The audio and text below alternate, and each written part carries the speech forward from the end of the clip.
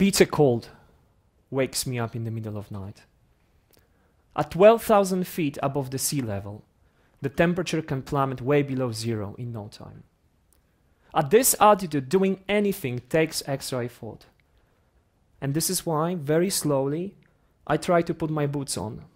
Once I leave the sleeping bag, my extremities will get cold very quickly.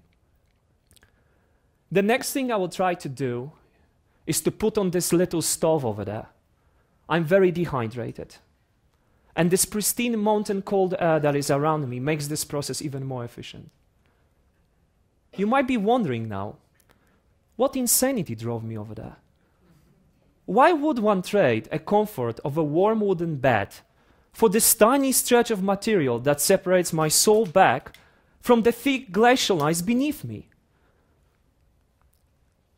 What is the rationale behind waking up in a small tent surrounded by intimidating mountain landscape? Let me explain. I came to this desolate place as I was looking for a retreat from a fast paced existence in a big city.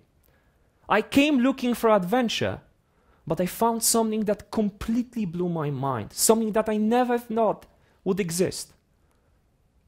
The world of clear and starry sky above me. Ladies and gentlemen, since the dawn of the time, we've been turning our heads to the starry sky above us. We have worshipped it. We have feared its cosmic power to ultimately try to study it and understand its secrets. For centuries, our ancestors, with the tools available to them, were trying to copy tiny patches of the starry sky above us and incorporate them into their art, into their culture. And although so many centuries have passed, we still live under the spell of the starry skies and distant galaxies. What has changed, however, is the degree to which we can observe all these amazing things that happen above us. Our natural curiosity has driven development of amazing man-made observation instruments, telescopes. More importantly, great developments in material sciences and optical physics led to creation of this tiny, uh, very popular apparatus, a modern camera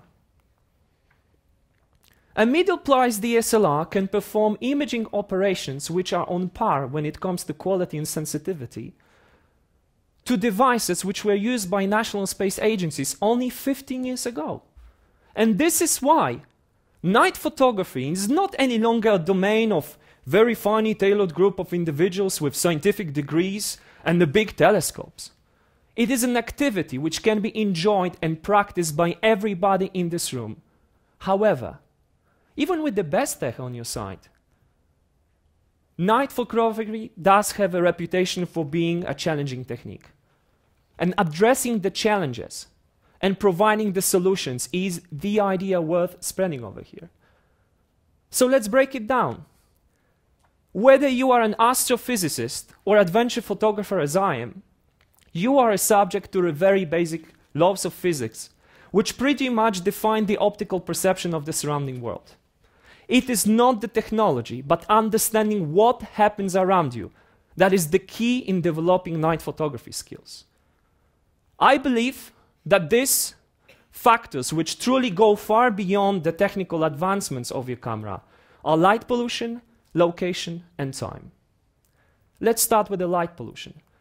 I think this is pretty much the most obtrusive and harmful factor which will influence your photos. What is artificial light pollution? Well, it's actually this misdirected radiation which obscures the celestial bodies. And unfortunately, our big cities emit a lot of light. And I'm pretty sure that this slide provided by NASA nails it down very well. So this is just a projection of artificial light sources on the surface of the air. When we zoom in, zoom in, I'm sorry, we could even identify and separate big agglomerations in the cities in US. Keep the lights on in the city, and you will see very little. This is, this is a snapshot of a place where we live, Courmayeur in Aosta Valley in Italy.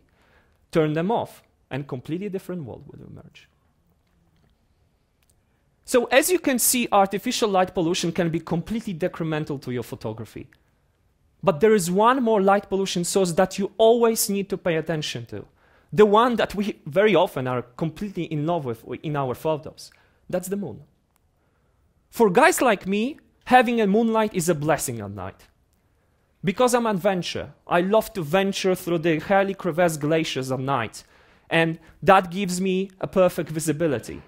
However, for photographer, intense moonlight, which is reflected by snow-covered mountains and glaciers, will wash out and completely overexpose your photos.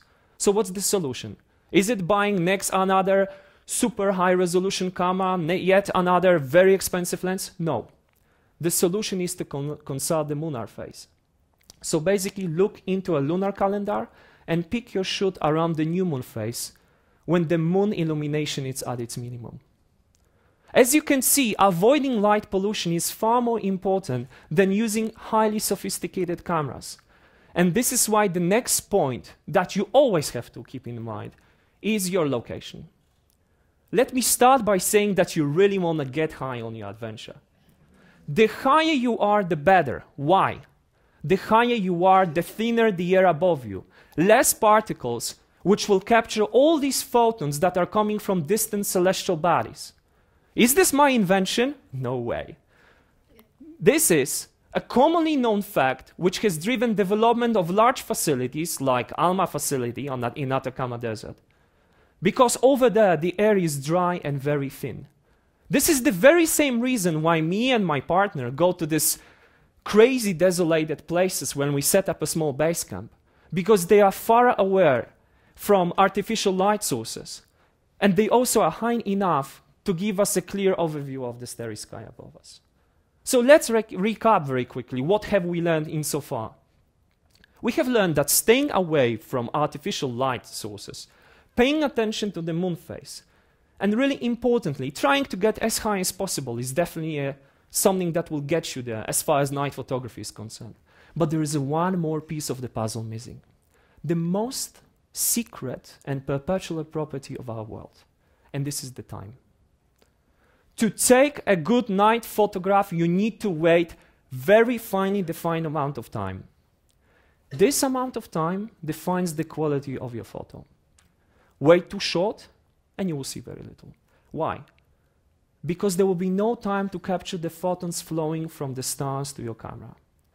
Wait too long, on the other hand, and you will see this completely washed out photo because you actually acquired too much information that adds to the noise and overexposure. So what's the remedy? What's the solution? And please pay attention now. The solution is you. The solution is the choice you make. And the solution is imagine yourself experimenting in the field. Experimentation. That's the key in night photography. Go into the field. Select an initial exposure value. Increase it. Decrease it and look at the outcome. It will take you no time to realize a single night photograph can tell an amazingly broad story in a very focused way.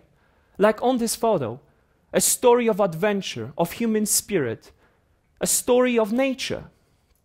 More importantly, night photography can be used as a positive agent in understanding the challenges and opportunities that we face in our daily life.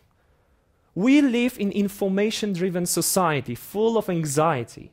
It's very easy to start feeling very lonely in such a society.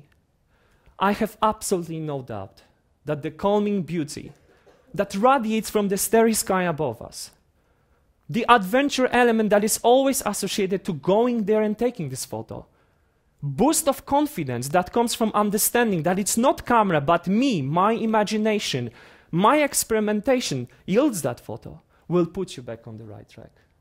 Ladies and gentlemen, as Vincent van Gogh said, for my part, I know very little with any certainty, but the sight of the starry skies above me makes me dream. Thank you.